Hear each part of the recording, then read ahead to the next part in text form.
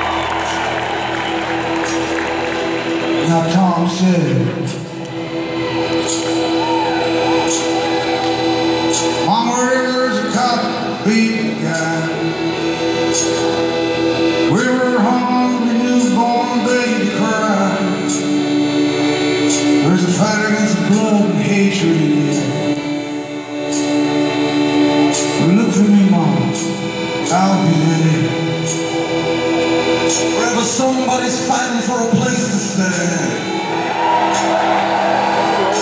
a decent job or a helping hand. Wherever somebody's struggling to be free.